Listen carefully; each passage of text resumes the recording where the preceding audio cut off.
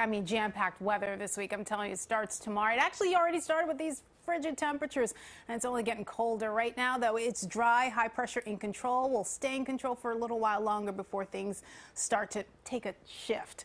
Uh, so far for the month of January, 5.8 inches of snowfall the other day. The normal total for the month, 7 inches, and we're not even nearly finished just yet, so we are above average in that category. And as far as temperatures go, we did peak at 30 degrees, uh, so it did go up uh, since 5 o'clock, so we adjusted those numbers. Uh, the morning low was uh, 20 degrees, so below in both categories, and we're expecting to get possible record temperatures with the coldest highs possible come Tuesday. In the meantime, again, highs across the board at or below freezing, and temperatures have already gone down to about 21 degrees Bridgeport, 29 New York City, uh, 24 as well in uh, Belmar, and we'll start to see those temperatures rise. I know it's a, a little confusing because normally during the overnight period, temperatures are supposed to take a dip, right?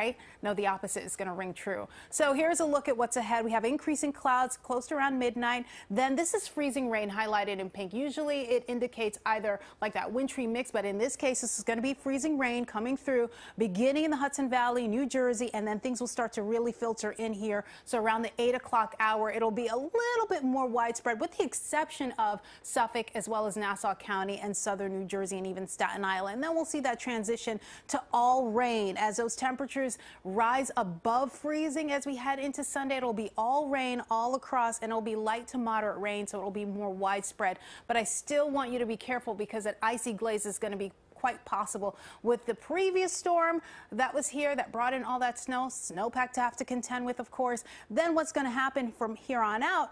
A strong cold front will come through. This Arctic front will provide us with possibly a few snowflakes, but more so those frigid temperatures. Ice accumulation quite possible in the city as well as points north and west. Right now, it doesn't look like it for places like Westhampton, Islip, but there could be a trace amount. Remember, the ground is still so cold from all this freezing conditions that we've had.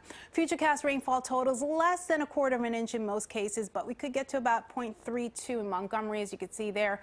Futurecast wind chills indicating those wind chills, it's going to feel like the teens and 20s. And get this, as we head into Monday morning, single digits. And if you think that's cold, Tuesday morning, negative 7, negative 4, as you can see in New York City, Islip respectively, negative 10 in Bridgeport.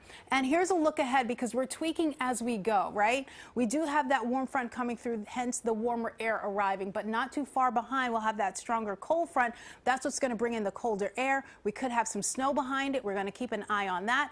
Monday, we clear out. Those strong winds are going to be a concern as well. Possible record numbers on Tuesday, Wednesday staying below normal, but this system right right here, we're going to closely track that for later on in the week because that could yield yet another coastal low.